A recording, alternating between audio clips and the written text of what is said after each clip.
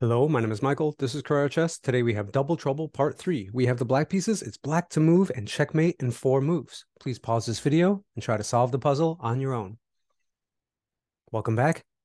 I hope you paused this video and took time to notice that the only thing that works is a carefully planned series of four double checks. Knight takes c3 double check, knight takes d5 double check, knight takes e3 double check, and our final double check, checkmate, good game.